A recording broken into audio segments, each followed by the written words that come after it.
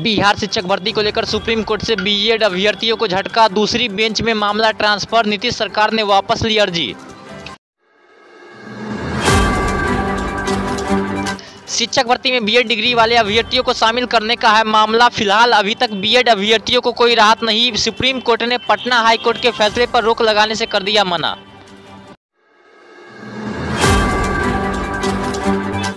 जातीय गन्ना की रिपोर्ट के विरोध में उतरे जेडीयू सांसद सुनील कुमार, पिंटू पार्टी छोड़ने पर भी दिया बड़ा बयान। जेडीयू सांसद सुनील कुमार, पिंटू ने कहा कि जाति आधारित गन्ना में तेली जाति की गिनती सही से नहीं हुई है। इस जाति की वास्तविक संख्या कितनी है, इसका प्रखंडवार आंकड़ा वह मुख्यमंत्री को सौंपेंगे। तेली साहू समाज के संयोजक होने के नाते मैंने सभी जिलों में अपने समाज के लोगों से बात की है। और समाज के लोगों का स्पष्ट ये संदेश है कि कहीं कहीं मोहल्ले, कहीं कहीं टोले की गिनती छुटी है। तेली साहू समाज बिहार में 2.81 नहीं है, इससे ज़्यादा है। हमारा समाज इस गणना को खारिज करते हुए माननीय मुख्यमंत्री से मांग करते हैं और 8 तारीख को हम लोग पटना में हमारे समाज के, तेली साहू समाज की एक बैठक है।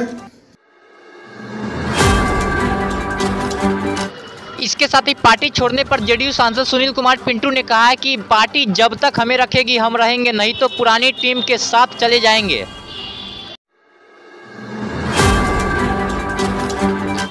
आरजेडी विधायक सुधाकर सिंह का फिर आया विवादित बयान, कलेक्टर के मुँह पर थूकने और फटे जूतों की माला पहनाने का दिया बयान। आरजेडी विधायक सुधाकर सिंह ने कहा कि यदि कोई कलेक्टर आपके पास आए तो उसके मुँह पर थूक दो, कोई दफ़ा नहीं लगेगा। वो आए तो उनको फूलों की जगह जूते की हार पहना दीजिए। थूक दो अधिकारी का। कलेक्टर के मुँह पे सौ आदमी अगर थूक दीजिएगा तो कलेक्टर कौन दफ़ा में जेल भेजेगा? कोई दफ़ा लगेगा? कलेक्टर को फटा हुआ जूता का चमड़ा क्यों फूल माला पहनाते अधिकारियों को? फटा हुआ जूता का माला गर्दन में लटका दीजिए अधिकारियों को, कौन दफ़ा लगेगा? हम तो गांधीवादी हैं।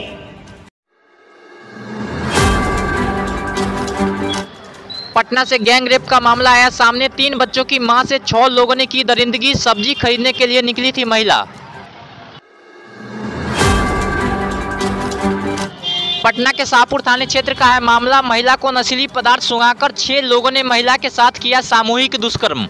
कल रात करीब 11 बजे ये 112 के माध्यम से एक सूचना प्राप्त हुई थाना पे, शाहपुर थाना पे कि एक महिला के साथ दुष्कर्म किया गया है। इसमें त्वरित कार्रवाई करते हुए महिला को सबसे पहले रेस्क्यू किया गया। रेस्क्यू उपरांत उनके द्वारा जो बताया गया कि एक युवक द्वारा जिसका नाम उन्होंने सरोज बताया। वो जब सब्ज़ी लेने के लिए शाम को गई थी उसी क्रम में उसके द्वारा उनको महिला फुसलाकर अ, उनको जो है वो बेहोश करके चितनावा नहर के पास ले जाया गया जहाँ पे पहले से जो पाँच और उनके सहयोगी थे वो मौजूद थे जिनके द्वारा बारी बारी से महिला के साथ